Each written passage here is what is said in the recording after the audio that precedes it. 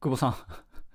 なんかあのスクショ見たんですけどなんかあの僕の動画がレビュー動画になってましたね。これレビュー動画になってたらこれどんなかちょっと待って待ってちょっと見ていいですか？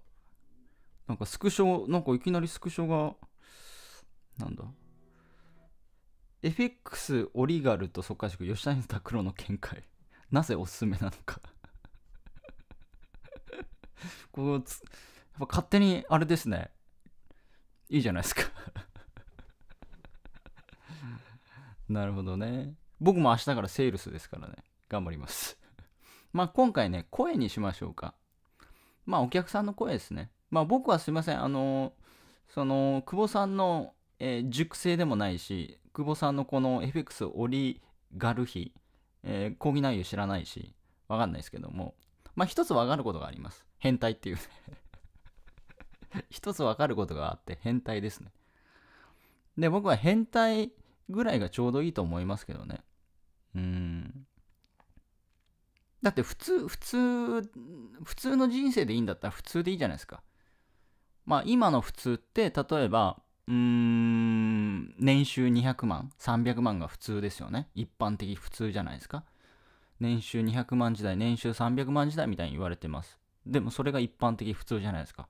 で普通でいいんだったら普通でいいんじゃないですか。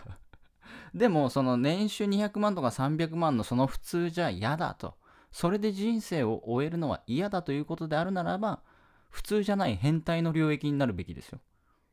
で変態の領域になるんだったら変態から習った方がいいと思いますけどね。でその変態変態っぷりっていうのがあのーサポートすごくいいのでうん。そう。まあ僕もねドリアカの売りはもうサポートですから。他のやっぱ塾とかだって僕久保さんもそうだと思いますし僕もそうなんですけど一人で全部やってるんですよ。一人で全部サポートとか全部対応してますけど他のチームチームでやってる人よりレスポンス早かったりね。業者より早かったりね。昔その業者にメール打ったら3日後に来たんですけどでもそんなもんじゃないですか。例えばその土日休みだったら来ないだろうしゴールデンウィーク中はどのこうのみたいな。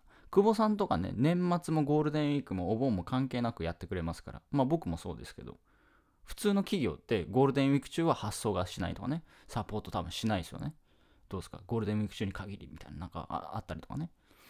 僕と久保さん全く関係ないですから365日あのウェルカムです。だそこはね他の会社とやっぱ他の会社ができないことができますので変態ですから。うん。だから年末始末も別にあの僕僕自身もセールスしてしますけど、まあ、常にセールスしてるんで あれなんですけどセールスもするしサポートもするし。うん。そう。だからその誰の声を聞くかってことですね。誰の声。別に FX を教えてる人はいっぱいいます。本も FX の本なんかめちゃくちゃありますよね。でも本を買ってもその本の著者を教えてくれますか？発信してますか？サポートしてくれますか？って話で。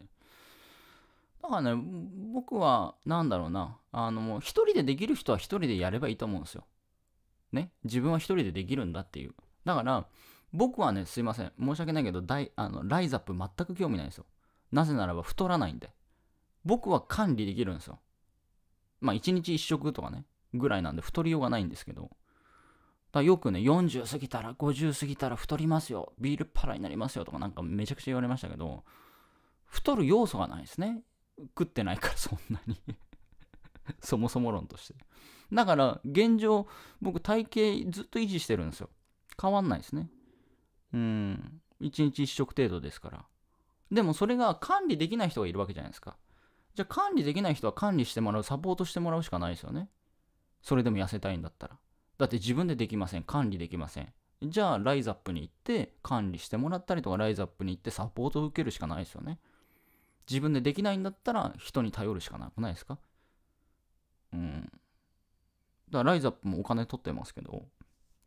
だからライズアップみたいな感じですよね。別に一人であの無料でね探せば FX で勝てる方法なんかいっぱい探無料でも調べられるしまあ書店に行っても本あるし。別に高いお金払わなくても書店でもいっぱいあるわけじゃないですかそれ勉強して自分でやればいいだろうしネットで調べれば今無限像に出てくるわけですから。だから自分で一人で成功できる、自分で一人でできると思うんだったら別に入る必要ないですよね。ただし、一人でできない。であるならば、ライズアップに入るしかないんじゃないかなっていう。うん。まあ、どっちかしかないですよね。自分でお金払いたくないんだったら自分でいろいろ調べて、自分でサポートを受けず、誰も頼らず、情報を探してやる。で、それが嫌なんだったら金払ってサポート受けるっていう。どっちかですよ。うん。でも僕はライズアップは世の中に必要だと思います。なぜならば、一人でできない人が多いので。一人で管理できない人が多いんですよ。食べちゃうんですよ。ね。そう。僕ね、ダイエットが一番僕は簡単だと思うんですよ。でも僕は簡単だと思うんですけど、他の人は難しいと思うんでしょうね。いや、吉根さん食べたいもん食べたいじゃないですか、みたいなね。そう。だって堀江さん出所してきた時ね、お堀江さんめちゃめちゃ痩せたな、みたいな。あれ？堀江さんじゃない？みたいな。今まあ普通に戻ってるんですけど あれ、刑務所で食事を管理されてたからですよね。別にライズアップ入ってないですよ、堀江さんね。でも、刑務所で食事管理されてたからあれになったんでしょうね。別にライズアップ入ってないですよ。刑務所入ってもいいかもしれないですね。刑務所入ったら食事制限されるので、まあ、おのずと太ることが難しいでしょうね。うん。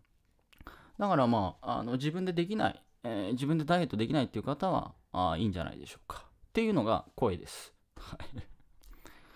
そう一人でね、やれる人もいますから、うん、一人でやれるんだったら一人で成功してください。僕も一人でできなかったですから。僕もこうできるようになったのは、まあそのマイナー会社の組織、まあそこにいたからできたっていうのがあるんで、まあそれは仕事としたからってことですね。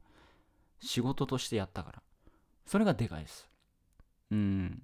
で、多くの人は仕事としてネットビジネスやらないので、うん、久保さんもどちらかというと、もう副業というか、もう麻雀店がもうダメだから、もう本業のレベルでやった、ネットビジネスやったからっていうのもあるし、うん。なんか副業感覚でやってたら、まあその、そういう考え方というかね、まあちょっとや、ちょっとやればいいやぐらいのなんかそういう感覚でやってたら多分今ないしね。うん。はい。ということで、声です。いってらっしゃい。